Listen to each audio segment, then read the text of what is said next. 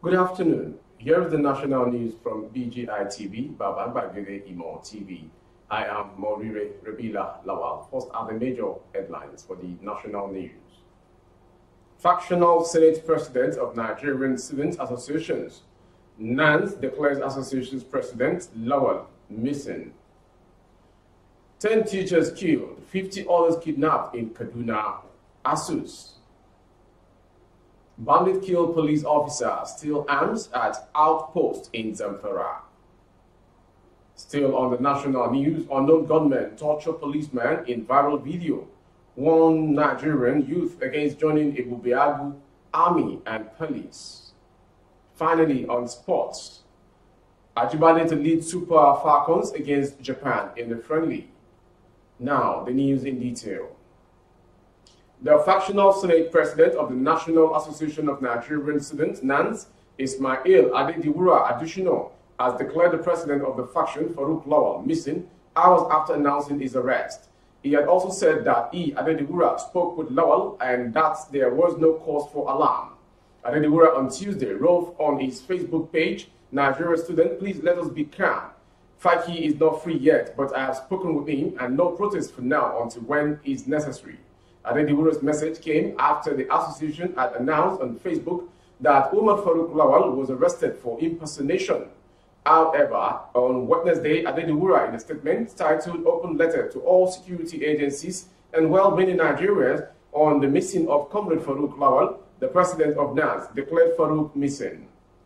The letter is shared on Facebook read, I'm using this medium to inform the security operatives and well-meaning Nigerians of the missing of the comrade Farouk Lawal the president of the National Association of Nigerian Students since Tuesday, 4th of October 2022. Comrade Farouk Lawal was last seen around the Maraba Inyanya axis yesterday afternoon.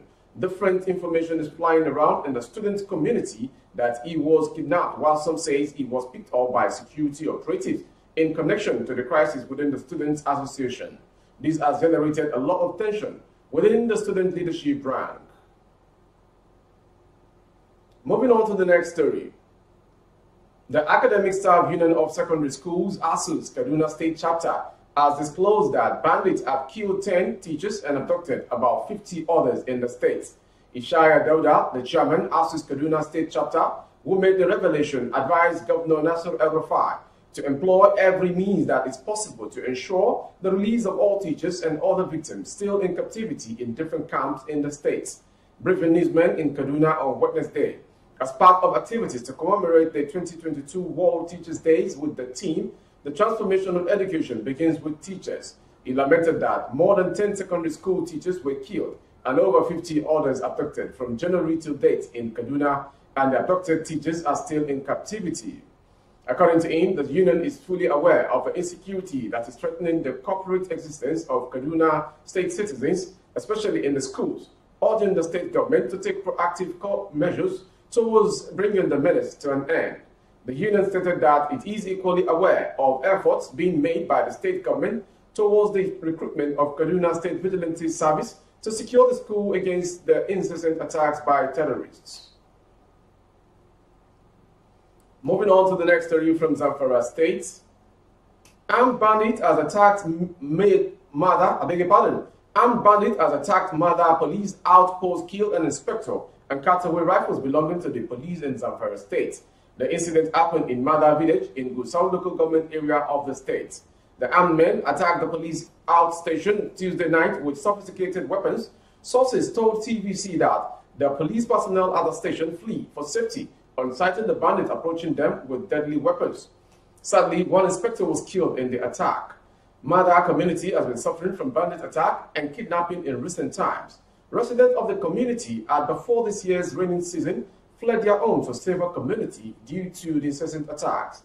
It would be recalled that a retired army corporal and indigene of the village was arrested with rifles, ammunition, and other deadly weapons along Kaduna Abuja Highway while on his way to deliver to his client in Tsafe, a local government neighboring his hometown, Mada. Police and the state are yet to comment on the incident.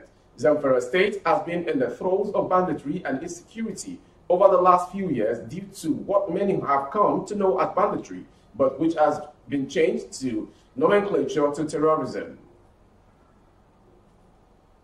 Moving on to the next story. A viral video has shown a policeman identified as Gabriel Anyang being beaten by gunmen suspected to be the members of the indigenous people of Biafra, IPOB. Gabriel is from the Imo State Criminal Investigation Department and is attached to the Police Public Relations Unit of the State Police Command. In the viral video obtained by Sahara reporters, the bleeding policeman is seated on the floor, eliciting pain expressions. One of the suspected IPOB members was also aired in the background threatening to kill Gabriel for being a member of the Nigeria Police Force instead of joining the moving train. He also warned youth against joining the police, Ebubeagu security outfit, army, and other security agencies. Although Sahara reporters cannot independently verify where and when the video was shot, it was gathered that the officer was abducted last week. All these dramas is to join the movement, the moving train, but went ahead to join the slow train. Did they told as SIC you that slow train will win? No, the suspected IPOB members was aired saying during the viral video. And lastly, on the national news this hour is a sports story. Rasheedat Ajibade will lead Nigeria's senior women team when they confront their Japanese counterpart in the prestigious international friendly match in Kobe on Thursday. Regular skipper Onome Ebi is only just recovering from an injury sustained at the Women African Cup of Nations final in Morocco in July, and Spain-based forward Asisat Oshoala is not in Kobe for this encounter. The, the precursors Ajibade scored three of Nigeria's goals in Morocco, including the winner against Cameroon in the quarterfinals that qualified the nine-time African champions to the FIFA Women's World Cup finals in Australia and New Zealand next year. Four-choice goalkeeper Chiamaka Nnadozie is available alongside defenders Michelle Alozie, Osinachi Ohale, Ashleigh Plumptre, and Glory Ogbonna, as well as midfielders Ngozi Okobi Okeoghene, Christy Ucheibe, and Deborah Abiodun, and forward Ifeoma Onumonu and Uchenna Kanu. These are the players available for the friendly coming up later today. That was the national news from BGI TV. Before we go, some major headlines. We brought to you factional Senate President of Nigerian Students Association, NAS, declares association's president, Lawal, missing. 10 teachers killed, 50 others kidnapped in Kaduna, ASUS declares. We also brought to you police kill, I beg your pardon, bandits kill police officer, still arms at outpost in Zamfara State. And lastly, Ajibade to lead Super Falcons against their Japanese counterpart in the friendly. For more updates on YouTube, our handle is Babagbagede Imo TV. Kindly subscribe and click on the notification bell. Select option all to access our broadcast. On Facebook, Bagede Imo with Alawiye Adebayo. Please like and follow the page. On Instagram, Bagede Imo underscore 22. For other placements of your goods and services, coverage of events and function, please dial the phone number streaming on the screen for advert placements only. Thank you for watching. I am Morire Rebila Lawal.